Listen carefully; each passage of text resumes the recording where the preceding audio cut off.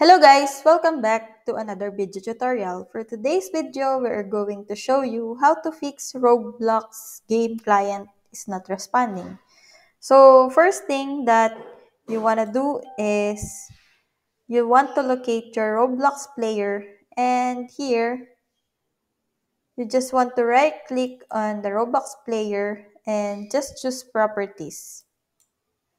From here, you want to go to compatibility and here you have to enable few things. So first setting that you have to enable is the compatibility mode.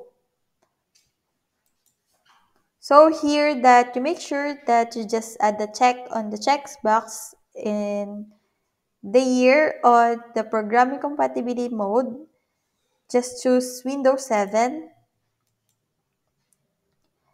And here under settings, make sure that disable full screen, optimizations, and run these programs as an administrator is enabled. Once you've done that, just click on apply.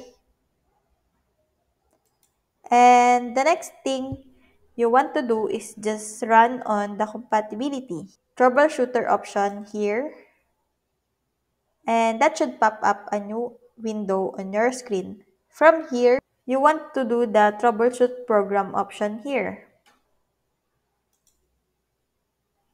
Just click on next button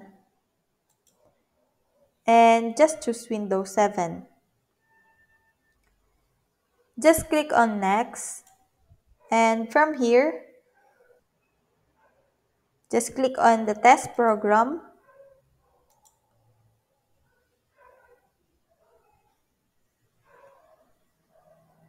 And here it's gonna actually run our troubleshooter for Roblox and configuring it successfully.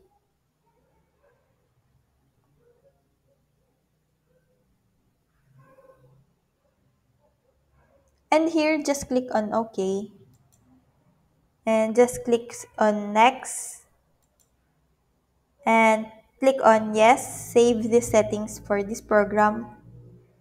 And from here, you just want to click OK.